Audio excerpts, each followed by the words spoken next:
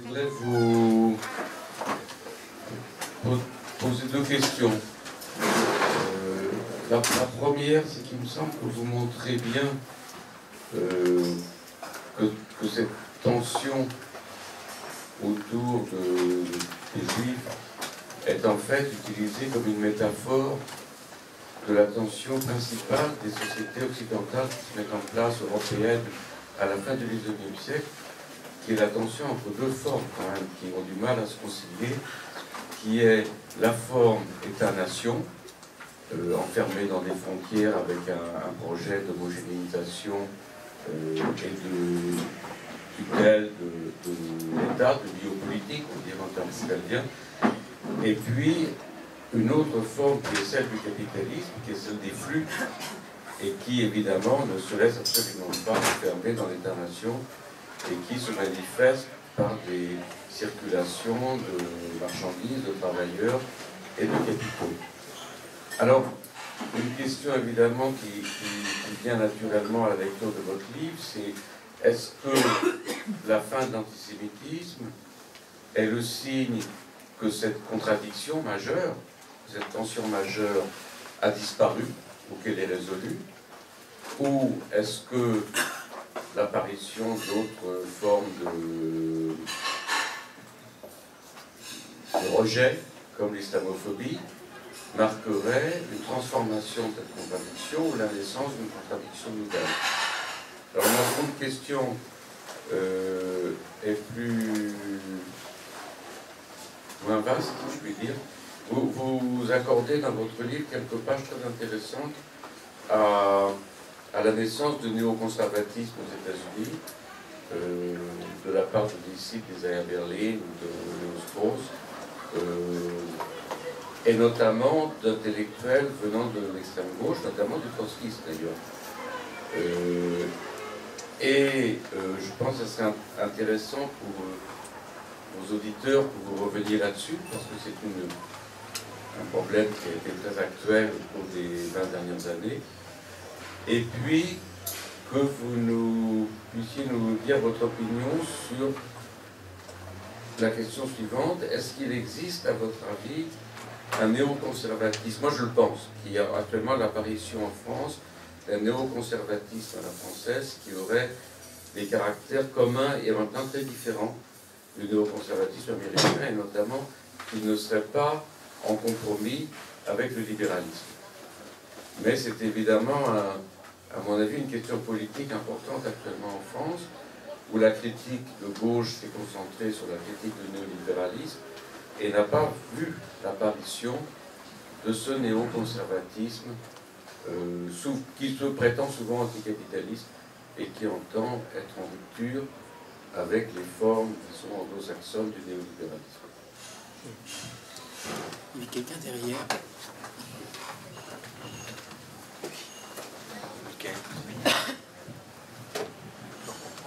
Oui, bonjour Enzo, merci, euh, je serai bref. Euh, j'ai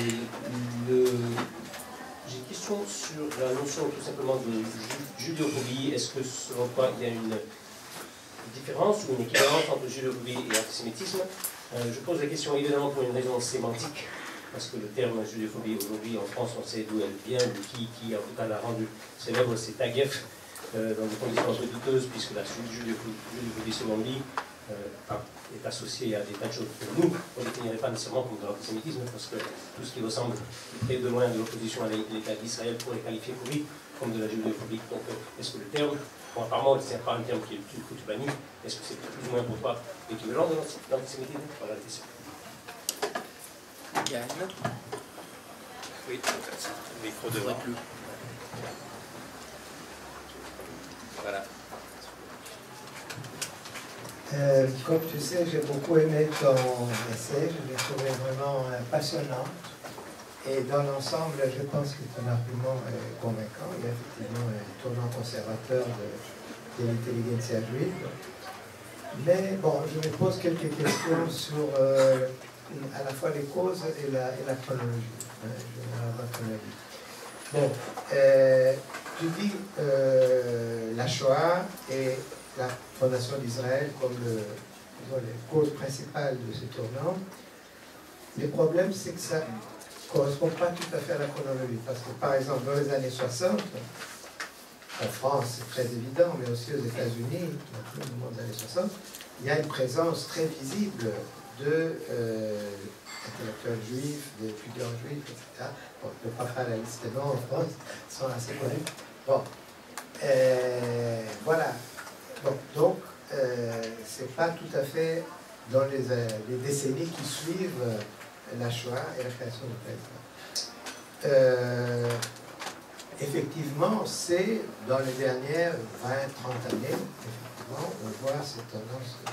Mais je me demande si elle n'est pas en rapport aussi, peut-être même surtout, avec une tendance plus générale de déradicalisation des intellectuels en Occident.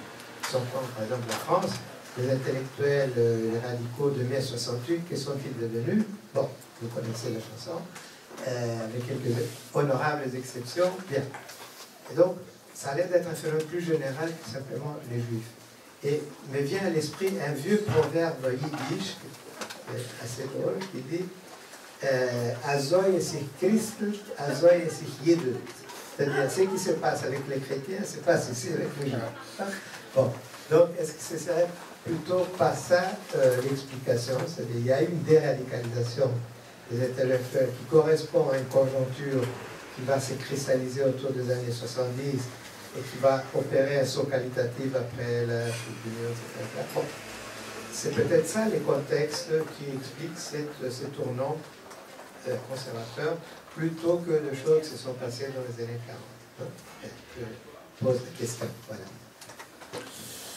Oui, finalement, pour suivre un peu ce que, ce que dit Michael aussi, euh, est-ce que tu est-ce que tu penses qu'il y a un rapport éventuellement entre le, la question de, du nouveau, enfin, de la, du déclin de l'antisémitisme et la fin de la colonisation aussi? Parce que finalement, le, la décolonisation, entre guillemets, puisque on sait que la décolonisation, elle est partielle, parce que finalement, dans la constitution des bourgeoisies nationales, ça, je crois que Saïd le montre bien dans son livre sur l'orientalisme, euh, les bourgeoisies européennes ont besoin de créer une frontière entre un Orient mythique, mais dans lequel finalement il y a les Juifs, et un Occident. Et ça, c'est fabriqué de manière, ça, ça montre bien comment c'est fabriqué à travers euh, tout ce qu'on appelle, l'orientalisme à la fois universitaire et populaire, tel qu'il peut se, se diffuser dans, à partir de, euh, en gros, du siècle des Lumières et un peu après. Et le, finalement, cette frontière-là, entre, dont la bourgeoisie nationale a besoin pour se constituer sur des valeurs, elle est une frontière en permanence fluctuante quand même. C'est-à-dire, on hésite en permanence qui sont du bon côté, qui est du mauvais côté. Or, effectivement, pendant très longtemps, les Juifs sont du mauvais côté. Et ils sont du côté de l'Orient. Ils font partie de ce grand mythe qui est le mythe de l'Orient. Et puis, effectivement, aujourd'hui, on a l'impression qu'ils sont complètement à l'intérieur, puisqu'on dirait au contraire que Israël, finalement, est le bastion avancé de la défense de- des valeurs occidentales dans l'Orient qui reste, lui, barbare et euh, qui reste inchangé. Donc on a l'impression que les Juifs vont été totalement passés d'un côté de la frontière à l'autre. Mais cette question des frontières, elle a toujours été quelque part un peu fragile, c'est-à-dire entre le... Entre le c'est ce que Foucault appelle le racisme d'État, c'est-à-dire euh, ce qui définit fondamentalement le racisme, c'est-à-dire les autres qui sont moins euh, civilisés que nous, qui sont dans, euh, dans une forme de dégénérescence, qui sont euh, dont il faut se méfier sexuellement, etc. Et, et là, on, voit effectivement, alors là, effectivement, on pourrait faire un lien entre le, la façon dont les, les Juifs ont été mis d'un côté de la frontière, puis de l'autre côté de la frontière, ont brutalement traversé la, cette frontière entre le eux et nous. Et c'est vrai que ça évoque aussi des questions qui, sont, euh, qui sont très présentes, puisque ça va évoqué le ministère de l'identité nationale, évidemment, qui est toujours cette tentative de définir quelque part les valeurs qui seraient les nôtres, donc définir un racisme d'État par rapport aux autres qui ne partageraient pas ces valeurs, et qui sont effectivement, en l'occurrence, euh, la communauté, enfin l'islam, les musulmans euh, présents en France, évidemment. Et puis ça va jusqu'à mon avis, le ministère de l'identité nationale, il avait fait un peu pchit. Enfin, on l'a vu finalement se réaliser, je trouve, avec les Madame Alif pour tous, qui d'un seul coup a dit on a des valeurs, qui nous caractérise et nous défendrons jusqu'à la mort et jusqu'au bout sans jamais renoncer. Et là, on a vu d'un seul coup le lien entre race et sexe se refabriquer, puisqu'évidemment, la race, elle se fabrique par le sang, elle se fabrique par la filiation, elle se fabrique par la sexualité, le contrôle de la sexualité, ce qui faisait qu'effectivement, la bourgeoisie française, par exemple, ou hollandaise, hésitait tellement par rapport à la question de dans les colonies, par exemple. Est-ce que les enfants métis étaient européens ou n'étaient pas européens? Est-ce qu'on autorisait les mariages mixtes ou pas les mariages mixtes entre européens et indigènes? Enfin, toutes ces questions-là qui ont été posées tout au long de l'histoire de la colonisation française, entre pour définir ce que serait le racisme d'État, le, nous et le eux, finalement, ce qui permettrait éventuellement de périodiser de manière aussi un peu différente. C'est pour ça que je disais, c'est la question que posait Michael, m'interrogeait aussi sur cette périodisation que tu faisais. Voilà.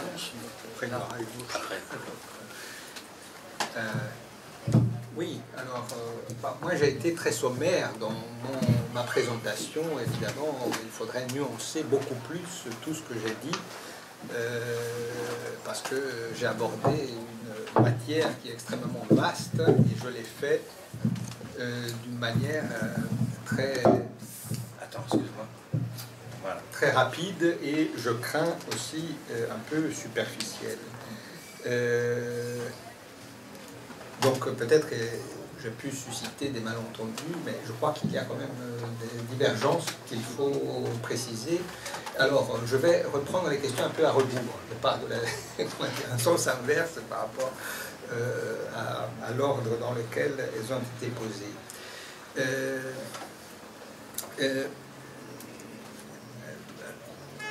J'ai été très marqué par euh, le livre, comme je ne suis pas le seul, le livre d'Edouard Saïd sur l'orientalisme, qui effectivement nous donne euh, une clé pour comprendre un peu l'histoire euh, de la modernité occidentale dans son ensemble.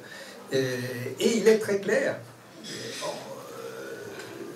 L'Europe moderne, pour se définir, a besoin de euh, de se construire, de fabriquer un espace d'altérité contre lequel elle peut euh, euh, projeter tous ses fantasmes, mais contre lequel elle peut aussi se définir positivement. Mais là, c'est clair, parce que il, nous explique l'anthropologie politique sous-jacente au processus de construction de, euh, de l'Europe moderne, qui est une Europe, une Europe de nations. C'est un processus très contradictoire parce que euh, cette vision de l'Europe comme une Europe, une de nations commence à prendre forme à une époque où l'Europe est dominée par des empires multinationaux. Et il y a encore ce que Arnaud Maillère appelle la persistance de l'ancien régime qui va perdurer jusqu'à la Grande Guerre. C'est très complexe. Mais il y a cette anthropologie politique sous-jacente au processus de constitution des nations européennes qui est évidente. Il y a un espace d'altérité qui est un espace euh, extra-européen, qui est un espace colonisable, qui est habité par des blancs qui ne sont pas des citoyens, mais des indigènes, des sujets. Donc le clivage est très clair. Euh, euh, Édouard Saïd, je pense que c'est la limite de son approche et de sa vision, qui est extrêmement stimulante, intéressante et riche, a une vision de l'Occident qui est un peu trop monolithique et homogène. Et la question juive euh, nous aide euh, précisément à comprendre les tensions et les contradictions qui traversent euh, la civilisation occidentale, les cultures occidentales, parce que les juifs sont, à côté des colonisés, sont une figure de l'altérité profondément différente, mais qui, se situe au cœur même de, de l'Europe moderne et des nations européennes.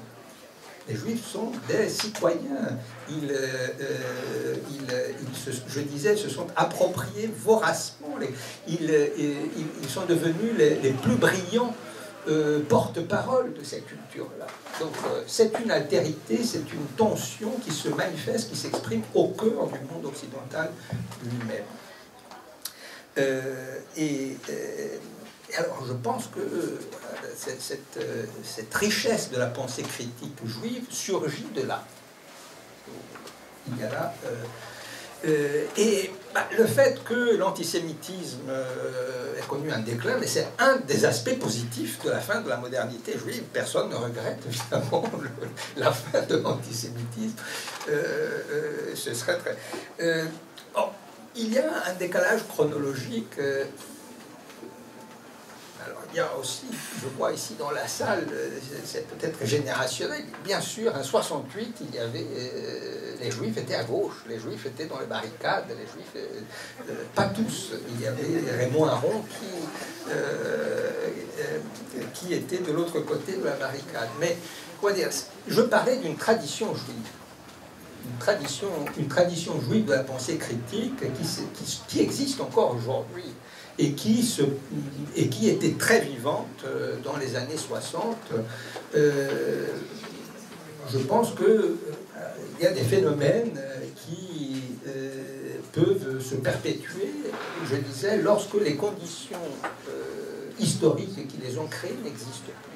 Et donc, euh, bah, les années 60, précisément, c'est évident. C'était aussi un phénomène de, génération. Les enfants de, ceux qui ont été persécutés pendant la guerre, eh ben, ils, euh, ils sont plutôt orientés à gauche euh, qu'à droite.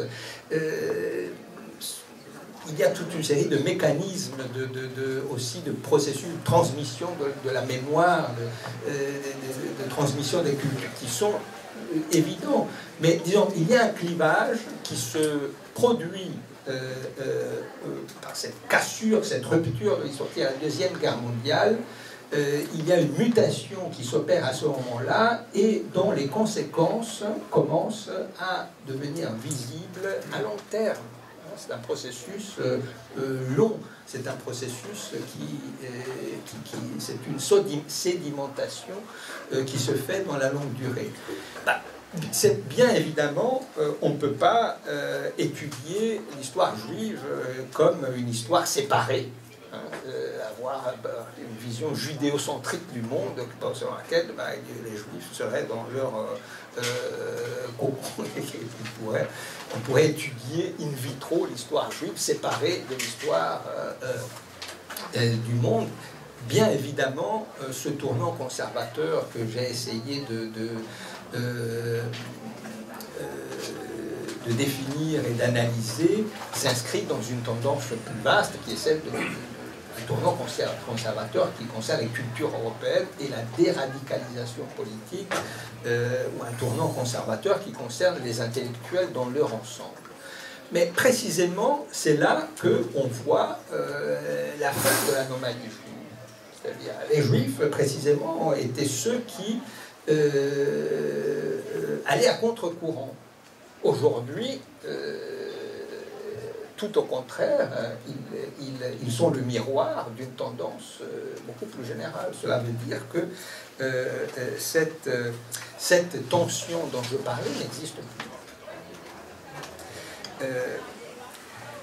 Euh, judéophobie ou antisémitisme Bah, Bien sûr, on peut discuter sur la, tout un débat sémantique qui, euh, vis-à-vis duquel j'essaie de m'affranchir un peu. Par exemple, pendant longtemps, on a discuté est-ce que euh, la pertinence euh, des concepts de Shoah, de Holocauste, génocide, etc. J'essaie d'aller au-delà de ces divergences terminologiques que je trouve finalement un peu stériles. Et je dirais la même chose pour si on se met dans une perspective qui ne serait pas purement franco-française, bon, je m'en fiche un peu de ce que dit euh, Pierre-André Taguieff, euh, euh, vis-à-vis duquel, j'ai toute une série de réserves et de divergences, mais il a pointé, en tirant des conclusions qui ne sont pas les miennes, il a pointé l'émergence d'une forme d'hostilité à l'égard des Juifs nouvelle. Or, lui, il dit, ça c'est l'antisémitisme du 21e siècle, et euh, les vecteurs de ce nouvel antisémitisme, euh, euh, ce sont les, minorités postcoloniales ou alors l'extrême gauche antisioniste. Bref, ça c'est le discours de Pierre-André Taguieff. Mais on peut, si vous voulez, d'une manière sommaire, générale, établir toute une série de distinctions. Il y a un anti-judaïsme euh, classique, traditionnel, historique, euh, qui a une matrice religieuse, chrétienne évidemment. Euh, à partir de la seconde moitié du XIXe siècle, laisse la place avec une continuité à l'antisémitisme, qui est une hostilité à l'égard des juifs qui prend une dimension raciale. Et là, on pourrait revenir au débat antérieur, il y a toute une littérature au XIXe siècle, scientifique, savante, qui est très intéressante, qui vise à montrer comment les juifs ne sont pas des blancs, par exemple. Les juifs sont une race euh, spéciale qui a son anatomie, une constitution du cerveau juif qui est bien différente par rapport à à la morphologie du cerveau du français euh, de souche. bref, il y a toute une, mise en une systématisation euh, savante de, cela. Mais euh, bah, il y a une forme nouvelle d'hostilité à l'égard des juifs qui n'a rien à voir vis-à-vis de l'antijudaïsme des traditions chrétiennes religieuses, de l'antisémitisme racial moderne, et c'est autre chose. C'est une forme d'hostilité à l'égard des juifs qui euh, trouve sa racine dans le conflit et dans dans ce rôle nouveau que l'État d'Israël joue et dans ce dispositif euh, géopolitique de domination occidentale. Euh, et évidemment, ça change tout. L'appeler anti-judaïsme, ça me pose un problème parce que, euh, bon, il y a aussi un anti-judaïsme de l'époque des Lumières qui est la critique, que c'est voltairienne de la religion, etc. on, le texte très controversé de Marx sur la question juive s'inscrit dans cette tradition critique radicale euh, de la religion par euh, le rationalisme humaniste, etc. Euh, et donc, voilà, on peut essayer de trouver des nouvelles définitions pour distinguer un phénomène nouveau par rapport à ce qui existait. Mais je suis d'accord que surtout en France, parler de nouvelle judéophobie peut susciter des malentendus à cause de ce OPA, de ce monopole qu'exerce sur le concept. Euh, une certaine euh, droite euh, conservatrice, ou parfois un certain néoconservatisme juif aussi, on peut dire. eh bien, la question du néoconservatisme juif est intéressante je pense qu'aux États-Unis, il a euh, pris des. Euh, connu une parabole euh, particulière. C'est vrai, il y a beaucoup d'anciens trotskistes parmi les néoconservateurs et d'anciens trotskistes juifs parmi les néoconservateurs américains. mais cela peut être aussi à cause de la faiblesse structurelle du communisme du stalinisme euh, aux États-Unis, euh, en, France, dans plusieurs pays d'Europe occidentale, euh, on a assisté pendant les années de la guerre froide à des ruptures. On va faire citer un nombre, beaucoup d'exemples d'intellectuels communistes devenus anticommunistes, très anticonservateurs. En France, c'était plutôt des staliniens devenus anticommunistes ou des maoïstes. Euh, cela concerne moins euh, les trotskistes. Aux États-Unis, il y avait beaucoup de trotskistes. donc les, parcours, les trajectoires peuvent être différentes, mais disons le processus euh, est similaire au fond.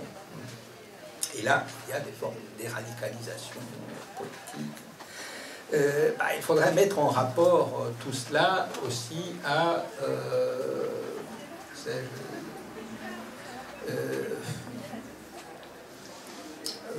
à l'antisémitisme américain qui existait bel et bien, mais qui était assez différent par rapport à l'antisémitisme qu'on a connu en Europe occidentale.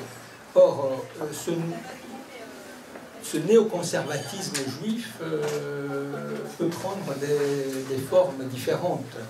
Euh, dans, mon livre, je cite surtout parce que c'est le, cas aussi le plus étudié le cas de Léo, Strauss, Léo Strauss, qui était ce grand philosophe euh, euh, juif allemand qui, pendant les années 30, quitte l'Allemagne, aux États-Unis, qui est un conservateur au sens le plus radical et profond du terme.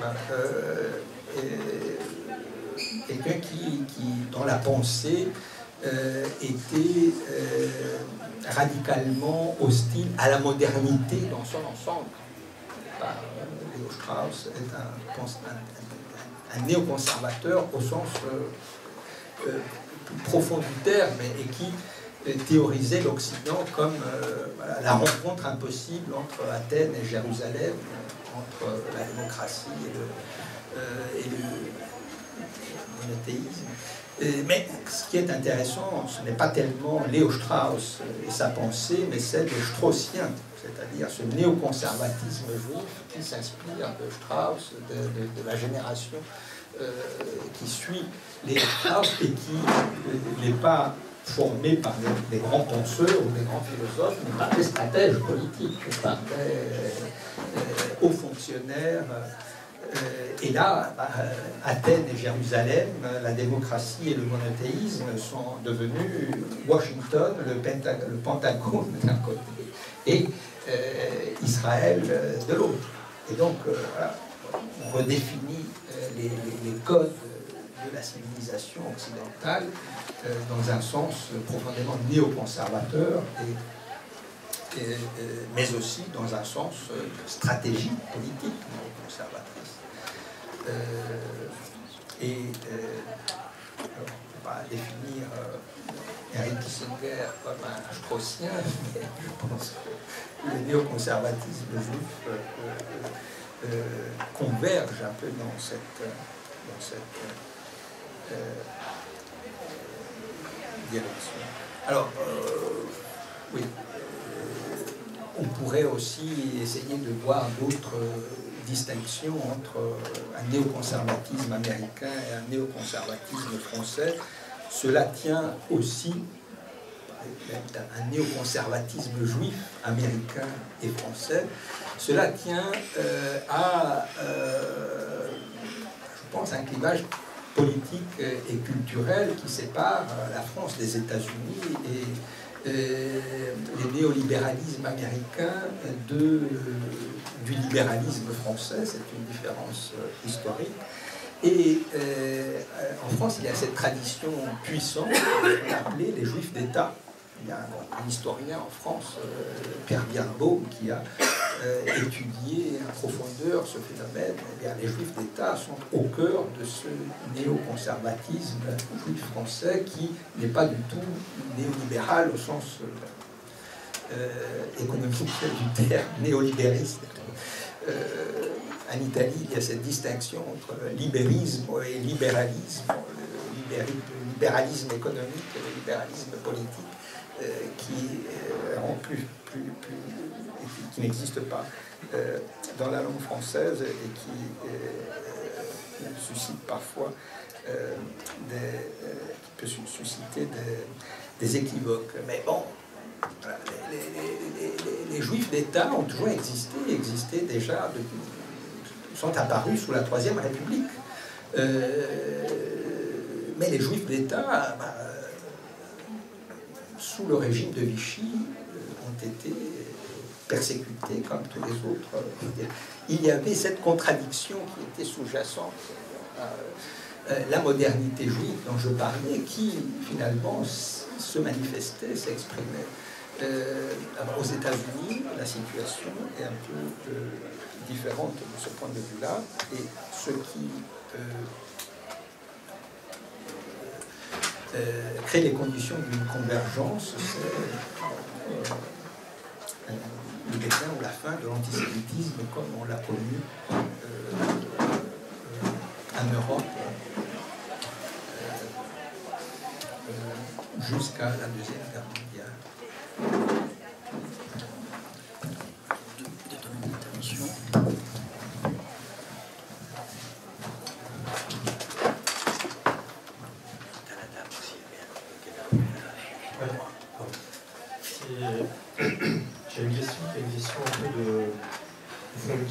Comme une sorte de question de méthode finalement.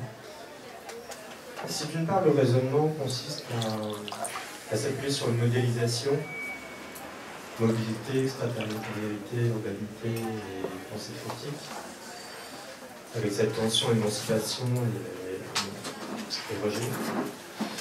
Et si d'autre part euh, vous procédez par analogie, est-ce que est-ce qu'au fond l'analogie, ou en tout cas une analogie qui est encore mieux, serait liée à la, à la sexualité, c'est-à-dire que les gays, les lesbiennes et les transgenres, ça correspond euh, de manière la plus euh, adaptée ou plus juste, enfin en tout cas très précise à ce problème de mobilité, d'extraterritorialité, d'urbanité, de développement d'une pensée critique, avec un problème d'émancipation, on a vu l'actualité à je vous faisais référence, et un rejet.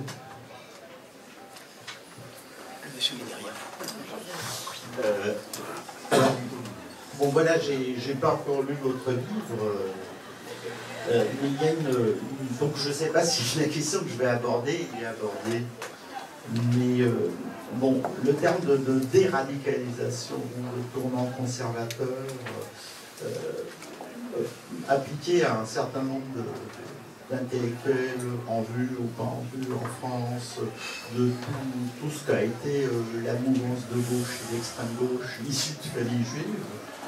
Euh, il y a quelque chose qui me surlupine en partant de, ma propre expérience.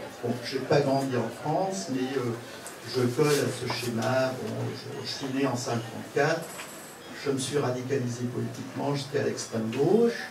Et puis le tournant essentiel, et, ça me manque un petit peu dans, toute votre description, c'est quand même euh, quel, a été, disons, le, mouvement euh, euh, dans lequel on s'est le plus impliqué, dans lequel on a investi toute notre énergie militante et internationaliste, et bien c'était l'Indochine. Donc, quand on évoque l'Indochine, on évoque inévitablement la suite, c'est-à-dire les boat people, l'autogénocide du Cambodge, et ainsi de suite. Et donc, c'était un ébranlement euh, incroyable pour notre génération. Et je pense que c'est la clé de ce que vous appelez une des clés initiales de cette déradicalisation qui fait que, par exemple, si je parle pour moi, je me suis reapproché, reapproprié les valeurs de la social-démocratie. Et d'ailleurs, je ne porte pas je pense, le même regard euh, négatif euh, sur l'évolution euh, de l'Europe occidentale que vous portez à cause justement de cette relativisation suite à ce qu'a donné l'expérience indochinoise. On peut élargir cette expérience à, d'autres pays du, entre guillemets, du tiers-monde, à ce qui est devenu la révolution algérienne sous le régime FLN euh, il y a plein d'exemples euh, où euh, des massacres à une échelle incommensurable que nous, on ne soupçonnait pas à l'époque, par exemple les grandes famines en Chine, organisées politiquement par le régime maoïste, plein de choses qui ont fini par nous ébranler et qui ont créé ce recentrage. Et donc je pense que c'est quelque chose qui, ne peut pas être absent si on veut comprendre euh, l'évolution politique d'une partie de l'intelligentsia européenne. Et je pense que c'est un peu caricatural, intelligentsia d'origine juive ou pas, c'est un peu caricatural de dire, bon voilà, c'est les néoconservateurs. Euh, J'ajouterais que, euh, disons que ce milieu-là, hein, si on applique ce terme de milieu, milieu intellectuel courant, en Europe, il n'a pas nécessairement viré vers les eaux du néoconservatisme, il est resté plus ou moins au centre-gauche, comme d'ailleurs toute l'Europe. Euh, je parle maintenant de l'Europe occidentale, ne s'est pas alignée culturellement au niveau de ses élites intellectuelles sur les États-Unis, sur le néoconservatisme, y compris dans son attitude par rapport au conflit proche-oriental.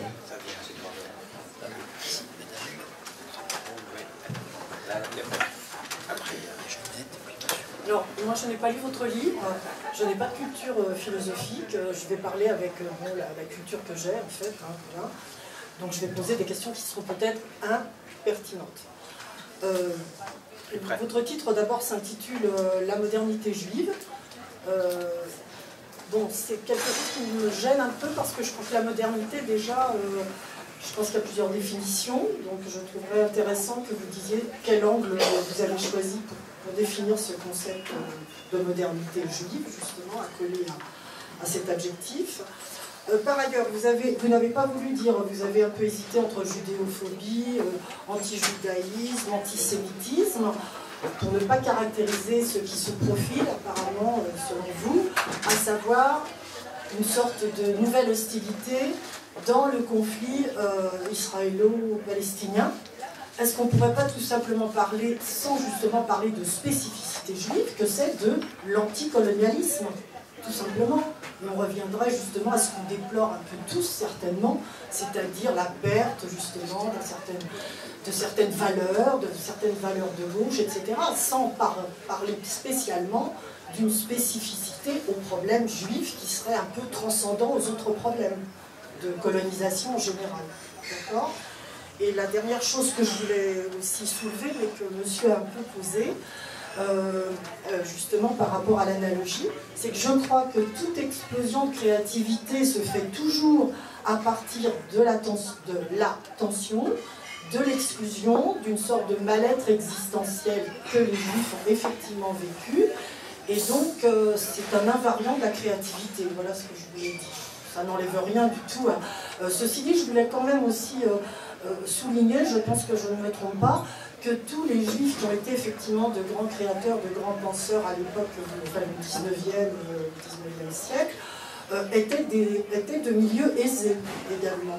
Alors cette créativité, cette euh, créativité qui existe effectivement quand il y a tension, mal-être existentielle, elle est parfois peut-être plus difficile à exprimer lorsque les gens n'ont pas cette... Euh, ce milieu social quand même euh, qui, les a beaucoup favorisés. Enfin, je sais pas, je pense à Joseph Roth, Stéphane Zweig, je d'autres. Je pense qu'ils étaient issus d'une bourgeoisie qui, à mon avis, confine plutôt à l'universel. Hein. Euh, et je voulais aussi, j'en profite pour dire autre chose. J'ai remarqué que le musée du judaïsme, qui fait de très belles expositions, a une tendance à judaïser justement des gens qui n'ont pas spécialement demandé à l'être, même s'ils sont juifs. Je pense par exemple à Walter Benjamin. Bon là je me trompe peut-être un peu, je m'avance peut-être beaucoup, mais je ne crois pas qu'il ait tellement... Peut-être que je me trompe. Euh, mais je ne crois pas qu'il ait tellement parlé de sa judéité. Et en tout cas, ils ont exposé là dernièrement des photographes qui, à mon avis, ne sont pas à revendiquer leur judéité à tout prix. Alors je trouve qu'il y a une sorte d'appropriation là d'une judéité qui n'a pas toujours lieu d'être. Voilà.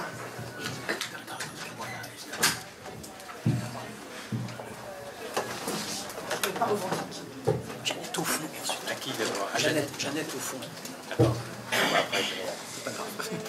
Euh, je, je, voudrais poser une question à, sur euh, la question du philosémitisme qui a été abordée et que tu n'abordes pas dans ton ouvrage. Et euh, je trouve qu'il est intéressant de penser que dans ce s'exprime tel qu'il a été défini et, analysé par Ségré, il montre que, en fait, euh, sous le couvert du philosémitisme, se reprend une thématique qu'on croyait propre à l'extrême droite, qui est celle de la défense de l'Occident. Je veux dire, donc ça, c'est quand, même, euh, c'est quand même un élément extrêmement important, euh, qui me semble à, voir et j'aimerais bien savoir qu'est-ce que, qu'est-ce que vous en pensez. Deuxième question, euh, qu'est-ce, est-ce que, on, est-ce que à trop périodiser, euh, on risquerait pas de, louper des retours euh, d'antisémitisme classique Voir ce qui se passe en Grèce aujourd'hui, avec le parti Homme Nouvelle, qui semble pas du tout euh, ouais, enfin bon, qui semble pas du tout euh, cacher son antisémitisme et euh, même si en même temps il, s'attaque en priorité aux immigrés. Mais je veux dire, c'est quand même intéressant de voir ce retour euh, avec une, une, écoute de masse, si on peut dire, hein, si, on, si, on, si on s'en Troisième chose concernant la, la est-ce qu'il ne faudrait pas nuancer non plus euh, les, séparations classiques sans tomber dans, un continuum historique total, mais entre l'antijudaïsme, l'antisémitisme moderne qui, mène au nazisme, etc., et, un antisémitisme ou une judéophobie comme, comme on l'appelle aujourd'hui. D'ailleurs, euh, bon, ça pose un problème, hein, les mots euh, judéophobie, islamophobie, etc. Je ne comprends pas pourquoi on utilise ces mots-là en empruntant à la pathologie. Parce que la pathologie, en général, on n'en est pas responsable. Donc c'est très inquiétant, ces mots phobie, pour dire des choses où on devrait dire anti on est, euh, on est anti-homosexuel, on est anti-arabe, anti-musulman, et pas phobique. Phobique, c'est autre chose, c'est pas quelque chose qu'on décide. Je veux dire, donc là, il y a quelque chose de très grave dans, ce mot. Mais par, rapport à ça, je veux dire, moi, je vois quand même que, par exemple, euh, il y a des gens, que, quand on discute avec, par exemple, des gens qui, défendent l'État d'Israël, ils vous disent, bah, regardez, euh, c'est ce, que, ce que fait un, ancien trotskiste aussi, Adam Weinstock, dans son petit livre sur la dimitude, Bon, il, avait écrit euh, Le sionisme contre Israël, il vient d'écrire il y a quelques années un petit livre sur la limitude, et, mais à un moment donné, il pointe des choses quand même fortes. La charte du Hamas, elle n'est pas commentée. Et elle se réfère explicitement au protocole des sages des. Explicitement, pas implicitement, explicitement. Je veux dire, et ça, je veux dire, si, si on cache ce genre de choses, c'est-à-dire les ponts qui existe entre l'antisémitisme et cela, je veux dire, on, se défend mal. Et je veux dire, au risque, on risque, à ce moment-là, moi j'ai vu euh, votre intervention euh, chez les indigènes de la République, je voyais vos questions, vous avez esquivé, vous n'avez pas répondu franchement. Jeannette.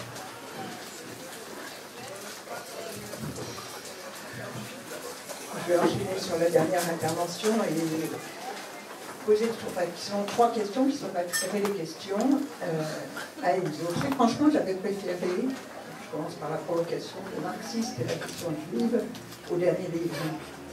Et le dernier livre me gêne euh, pour trois raisons.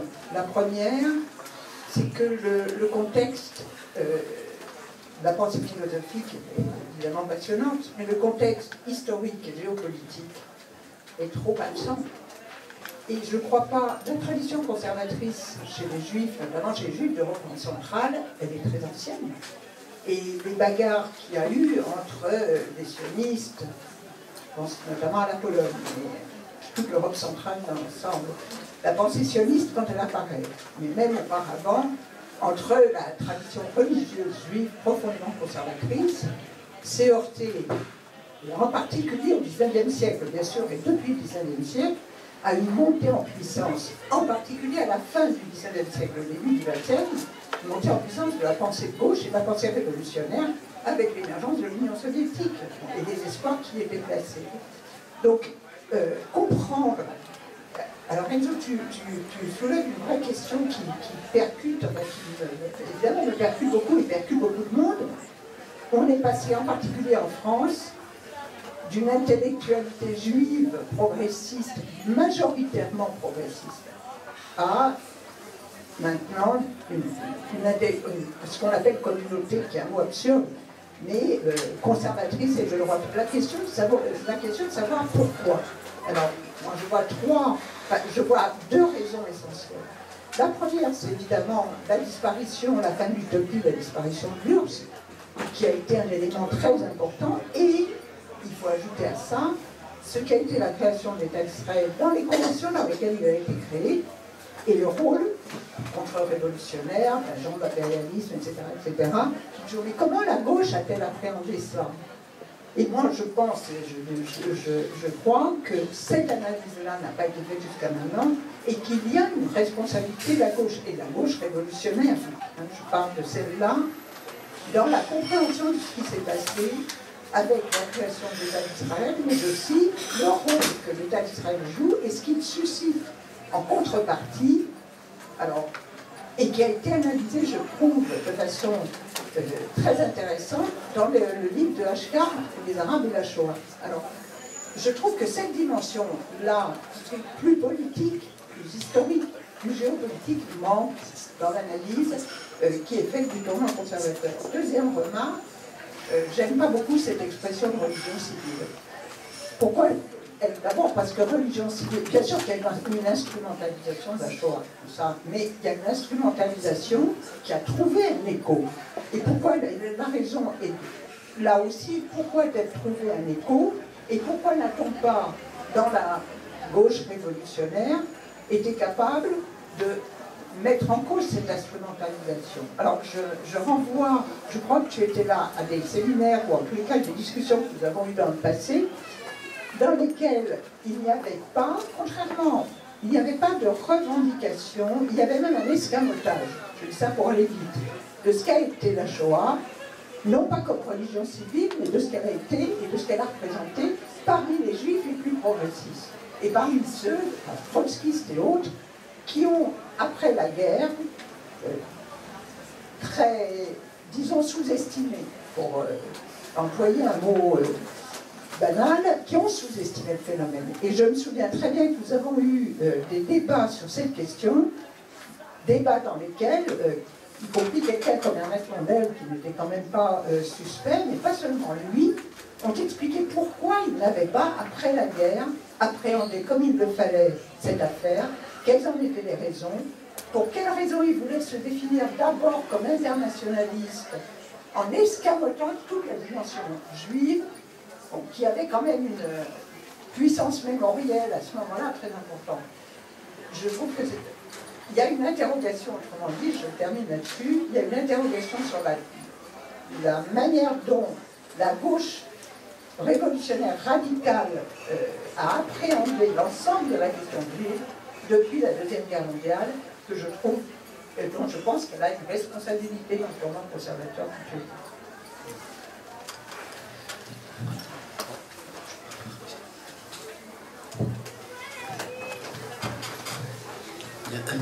dans la continuité des, interrogations qui ont été soulevées, je trouve que ce qui est tout à fait convaincant et passionnant, c'est euh, l'analyse des mutations de, la pensée juive ou de l'intelligentsia juive progressiste qui euh, fonctionne comme une plaque sensible des, bouleversements du XXe siècle, hein, tout, ce, qui vient d'être énuméré.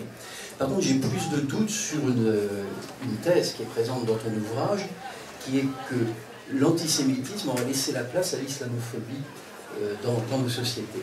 Et il me semble que ça pose un double problème. Le premier, c'est de savoir si euh, l'antisémitisme c'est fini, ce qui euh, me paraît douteux, qui me paraît imprudent, hein, compte tenu des, évolutions, des évolutions possibles. Bon, et on sent bien que dans le choix des mots, judéophobie ou antisémitisme, il y a cet, élément de doute sur pourquoi ne pas caractériser comme antisémitisme un certain nombre de, réactions dont on dit qu'elles relèvent de la judéophobie parce qu'elles renvoient au contexte nouveau qui est celui du conflit euh, israélo-palestinien. Et l'autre élément d'interrogation sur ce même point, c'est ce qui se passe du, côté de la radicalisation d'une certaine droite catholique, ce qu'on a vu dans, le euh, contre le mariage gay, etc. Et là, je pense qu'il faut être vigilant sur ce qui peut se réactiver à un moment donné, hein, dans le fait que l'antisémitisme est quelque chose de tellement profond dans cette fraction de la bourgeoisie euh, ultra-catholique, ultra-réactionnaire, que on peut penser que ça peut se réactiver à un moment donné. Et, l'autre, face du problème, c'est cette notion d'islamophobie. Il y a le mot phobie, hein, ce que tu soulevais à l'instant, et puis il y a cette, cette, difficulté qui est de renvoyer le racisme à sa dimension religieuse. Hein, et euh, euh, si on dit islamophobie, on désigne la religion euh, comme étant derrière ce, ce racisme-là. Il me semble qu'il y a une série d'interrogations à avoir qui est que le racisme désigne un certain nombre de parias. Aujourd'hui, c'est vrai que le paria, ça n'est pas le juif progressiste ou le juif communiste, mais c'est l'immigré qui se trouve être musulman, c'est le jeune délinquant qui se trouve être musulman, mais c'est aussi le Rome qui n'est en rien musulman et qui visiblement est en train d'être construit comme euh, le, paria type. Hein. et là, on retrouve par contre des éléments extrêmement euh, violents et traditionnel de, de, ces, ce racisme de, rejet. Donc il me semble que hein, dans, cette thèse que l'islamophobie remplacerait l'antisémitisme, il y a une série d'interrogations à avoir et de, mises en question à, poser. Alors, je ne sais pas, peut-être qu'on approche à la fin, il faudrait peut-être que Jean indique le, ce qu'il faut faire pour poser des questions ou des interventions par écrit Afin que tu conclues. Oui. On va expérimenter. Tiens, on va passer le micro. Après, tu peux. Oui. On peut dire que quand tu es sur Internet. On va expérimenter avec euh, euh, ce rendez-vous avec Amiso une, utilité nouvelle du site pour prolonger le débat.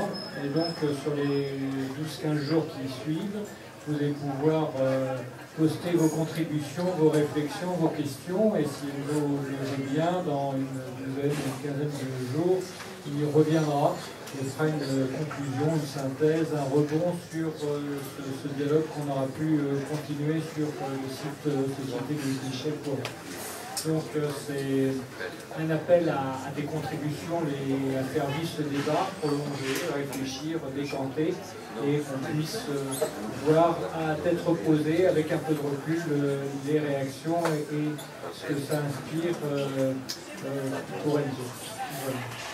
C'est ça, pour rappeler le nom du site, c'est donc société Louise Michel, toutattaché.org. Hein ben, c'est là. Et toutes les conférences sont enregistrées. hein. Donc, euh, vous pouvez revoir les conférences sur le site. Euh, un dernier mot, si parmi vous certains souhaiteraient être avisés de nos conférences en direct, hein, notre calendrier, il n'y en aura pas beaucoup cet été. Le, eh bien, ils pourront s'inscrire sur un, un petit papier qui est à leur disposition au bar. Voilà, pour ceux qui ne- n'appartiendraient pas, qui ne seraient pas déjà, euh, qui ne figuraient pas déjà sur notre euh, listing, pour employer un mot affreux. Un mot affreux. Ah, Est-ce qu'il y a une connotation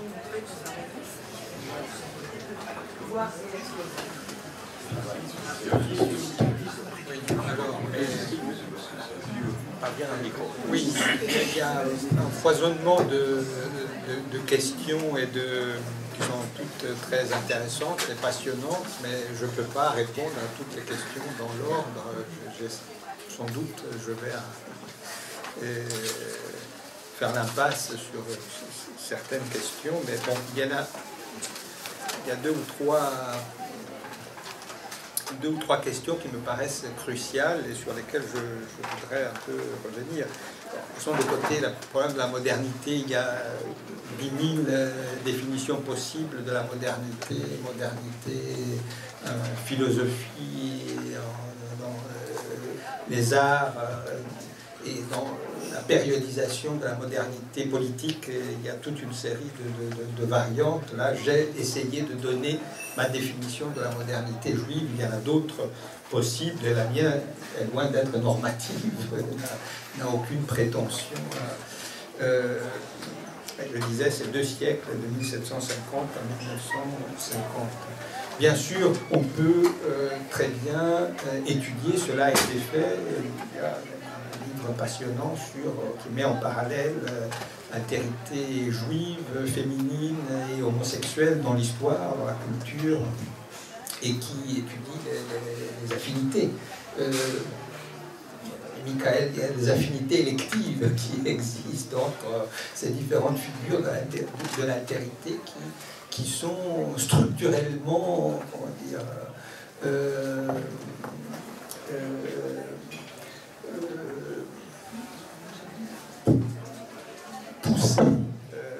vers l'adoption de positions anticonformistes, euh, critiques, euh, voire une critique radicale euh, de la domination selon les contextes historiques. Mais bref, euh, tout cela est très intéressant et euh, mérite d'être euh, étudié et, et médité. Euh, bon, alors, il y a euh, quelques points qui me paraissent euh, quand même euh, fondamentaux.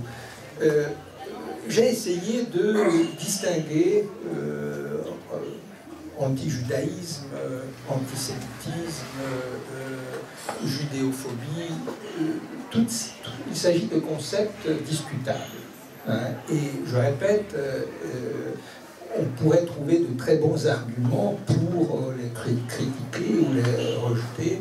Je ne veux pas me focaliser sur la sémantique, parce que sinon la discussion devient très difficile. il faut utiliser les mots qui appartiennent faut essayer de faire un usage critique de certains concepts, euh, mais euh, il y a des termes qui sont entrés dans l'usage courant et qu'on peut utiliser. Euh, on peut critiquer évidemment les interprétations qui nous paraissent discutables ou néfastes qu'on peut donner de certains concepts. Cela dit, quand on brûle une synagogue, ou quand on tue des enfants juifs à la sortie d'une école, bah, je n'ai aucune difficulté à dire que c'est des actes d'antisémitisme. Je ne vois pas comment pourrait-on les définir autrement. Euh, il faut les, condamner avec la fermeté la plus totale. Donc, euh, aucun doute là-dessus. Euh, bah, le problème, c'est que bah, lorsque Mohamed Merah enfermé dans son appartement et qui était en contact avec les policiers dit pourquoi il, euh, fait cela il dit bah, il parle des enfants palestiniens qui sont cela donne à réfléchir quand même. Euh, ça veut dire qu'un acte qu'on peut très bien qualifier d'antisémite, d'un acte abject d'antisémitisme, a des motivations surgies d'un terreau, d'un qui n'a rien à voir avec l'histoire de l'antisémitisme qu'on a connu. Alors si on veut combattre cet, antisémitisme-là, si on veut combattre cette forme d'hostilité à l'égard des juifs, eh bien il faut savoir d'où ça vient, il faut essayer de la comprendre, et il faut savoir que la combattre comme on combattait l'antisémitisme fasciste et nazi, ça ne sert à rien. C'est vraiment, ce, signifie euh, s'enfoncer, aller contre le mur. Bien sûr, euh, les protocoles des sages de Sion sont devenus un best-seller dans le monde arabe. On les trouve dans les librairies euh, du Caire. C'est une importation, c'est une greffe. Il y a cette hostilité plus que latente qui est euh, très diffuse à l'égard d'Israël, des Juifs. Et il y a appropriation d'une tradition idéologique, intellectuelle qui n'est pas celle du monde arabe les protocoles des sages des Sions n'ont pas euh, été fabriqués au Caire, ont été fabriqués par, euh, euh, dans l'Empire d'État. C'est toute une, histoire complètement différente. or, les concepts sont des, types idéaux. On peut parler de judéophobie ou plutôt que d'antisémitisme pour marquer une distinction mais cela ne veut pas dire que ces deux catégories soient absolument euh, incompatibles, indissociables. La même chose pour islamophobie. Bon, il y a cette phobie qui peut être euh, problématique. Euh, quand il y a un ouvrage qui s'intitule Le clash des civilisations et qui définit l'islam comme une civilisation incompatible avec l'Occident, là, on va euh, à la recherche d'une racine qui est religieuse.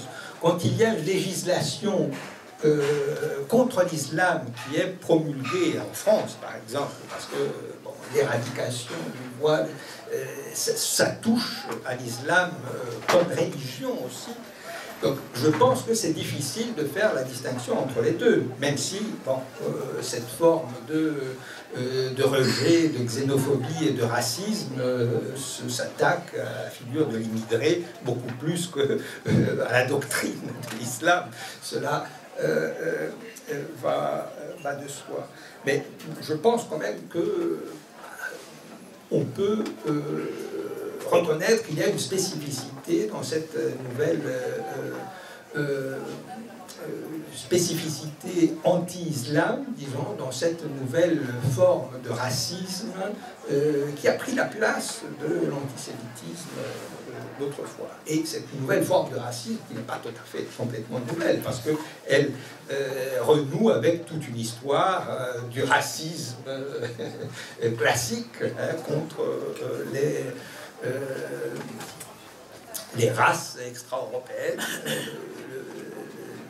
c'est une idéologie qui a euh, historiquement été euh, fonctionnel à la définition d'un certain ordre hiérarchique du monde à l'âge de l'impérialisme et qui se poursuit, se perpétue aujourd'hui sous, des formes euh, différentes.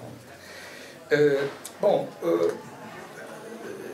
bien sûr, je disais, en Europe centrale, l'antisémite. En Europe centrale, on a eu, une, pendant la guerre froide, une période d'hibernation. il y a euh, euh, une congélation, et après 1989, il y a une, une vague euh, de, de, conservatisme politique qui a déferlé, très anticommuniste, et qui a renoué avec toute une tradition qui était celle d'avant la Deuxième Guerre mondiale, qui était celle des nationalismes fascistes, fascisants et profondément antisémites d'Europe orientale. Et c'est cette tradition-là qui, a, euh, qui, qui, est réapparue. Et donc, euh, il y a ce phénomène tout à fait paradoxal de droite nationaliste antisémite dans des pays où il n'y a plus de juifs. Plusieurs pays d'Europe orientale. Et il y a des, des, situations un peu de, transition. La Grèce, euh, c'est les Balkans, c'est entre l'Occident et, et, et. Bon, mais l'aube dorée, c'est des nazis, évidemment, ils sont antisémites. Euh, mais quand même, euh, ils, ne font pas la chasse aux juifs, ils font la chasse aux euh, sans-papiers, aux réfugiés, aux immigrés, etc. Bon, faut voir aussi un peu le contexte. Or, je n'exclus pas, évidemment, on ne peut pas exclure le, un retour de l'antisémitisme, et il faut être vigilant mais je ne pense pas euh, que les droites européennes euh, puissent euh, se réinventer à partir de, ce, de ces matériaux-là. Je pense que quand même il y a eu une rupture historique qui est, qui est profonde et qui fait que cela me paraît très difficile. difficile Or, quand je parlais de la modernité juive, hein, euh, pour répondre aussi à une question très intéressante sur ces juifs qui finalement euh, ne se considéraient pas euh, très juifs en réalité. Bah, la modernité juive est aussi le résultat d'un grand mouvement de sécularisation du monde juif. C'est-à-dire il y a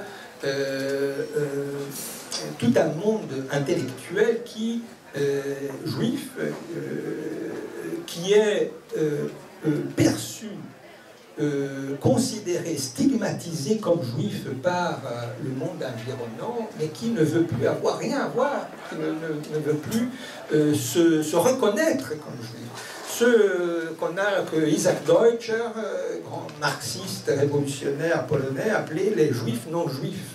Hein. Il y a cette modernité juive qui naît euh, du euh, rejet du judaïsme, rejet de la tradition juive considérée, identifiée à un passé obscurantiste, religieux, euh, la synagogue, les rabbins, toute une série de prescriptions obscurantes. on voulait se débarrasser de tout cela et s'approprier d'une modernité qui n'était pas vécue sous le mode de, l'adhésion à une identité nationale, mais sur le mode d'une modernité universelle, internationaliste, supranationale. La modernité juive naît euh, de cette contradiction dont je parlais, de euh, cette modernisation, sécularisation, rejet de la tradition juive, et en même temps être acculé euh, à la judéité, à sa propre judéité, à cause de, de l'antisémitisme environnant. Et c'est une situation extrêmement paradoxale, une situation d'instabilité, de précarité, euh, mais c'est une situation qui, place les juifs dans un observatoire particulièrement euh, euh, anticonformiste. Ils échappent aux conventions qui peuvent être d'ordre idéologique, d'ordre culturel, d'ordre politique, même d'ordre psychologique. Ils regardent le monde à partir d'un observatoire particulier. Et ce regard est extrêmement riche. C'est cet observatoire-là qui n'existe plus aujourd'hui pour le bien pour le mal, parce que des, changements euh, euh, euh, qu'on ne regrette euh, certes pas. Mais bon, tout est né de là. Mais on pourrait dire, euh, faire, de, donner de, multiples exemples. Cela vaut pour euh, toutes- sortes. euh, Le cinéma polonais était beaucoup plus intéressant à l'époque du socialisme réel qu'il l'est aujourd'hui, parce que bon, euh, euh, ces artistes, ces créateurs qui étaient obligés de travailler dans des conditions d'oppression, bah, cela aiguisait leur regard. Évidemment, personne euh, ne voudrait revenir euh, au socialisme réel, mais euh, c'est un fait. Je pense que le cinéma iranien peut-être sera moins intéressant une fois que l'Iran deviendra un pays. Tocqueville faisait une remarque sur l'acuité des penseurs, euh, des philosophes euh, sous l'Ancien Régime euh, et par rapport euh, à la médiocrité de la culture américaine, celle d'une société démocrate. Évidemment, il ne s'agit pas d'avoir une nostalgie et du regret pour l'Ancien Régime, mais il y a cette mutation qu'il faut prendre en compte.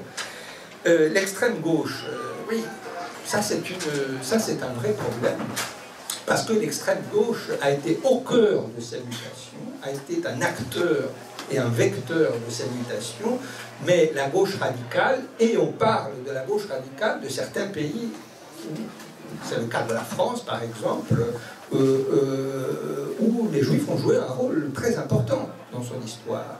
Eh bien, cette gauche radicale a toujours été incapable de penser, je pense, euh, je crois, dans son ensemble, ces mutations. Et euh, on peut observer toute une série de, inertie euh, intellectuelle ou même parfois un atavisme. Euh, vous citiez tout à l'heure, qui, qui citait Weinstock, Nathan Weinstock. Comment on parlait de la destruction de l'État sioniste dans les années 60. Il y avait un langage, une rhétorique euh, qui montrait que euh, cette gauche radicale n'avait euh, n'avait pas fait le deuil de, pourtant la Shoah a, exterminé aussi toute une génération de révolutionnaires. Mais le langage, les catégories idéologiques, la rhétorique qu'on utilisait montrait qu'on n'avait pas compris qu'il y avait eu la Shoah et qu'après la Shoah, on ne pouvait pas utiliser ce langage et cette, cette. Il y a eu une incapacité de, de- penser hein, ces, mutations euh, qui avaient profondément affecté dans sa chair, dans, dans- dans- ces corps, ces- ces organisations, une génération militante. Et là, on paye le prix de cela. On paye le prix. Dans certains pays, en Allemagne, et voilà, on assiste à ce phénomène dont on parlait, ce philosémitisme qui pose une série de problèmes. Euh, il n'y a pas un pays plus philosémite euh, que l'Allemagne aujourd'hui. Euh, la mémoire de la Shoah est devenue partie intégrante de la politique officielle de l'État allemand. Prenez les déclarations de, de Schauble, ministre sur les Grecs. Les Grecs qui euh, vivent au-dessus de leurs moyens, qui sont des parasites, qui exploitent, euh, quand ils ont besoin d'argent, ils vont à la banque, c'était un éditorial de la Bild Zeitung, euh, ils vont au guichet d'une banque, ils retirent de l'argent dont ils ont besoin, c'est de l'argent qui a été mis là par le travail des, des Allemands. Alors vous remplacez le mot grec par juif, euh, Schauble, il ne reste pas 24 heures. Il est obligé de, démissionner dans les 24 heures. Parce qu'un tel discours serait absolument intolérable, serait quelque chose d'inadmissible. hein.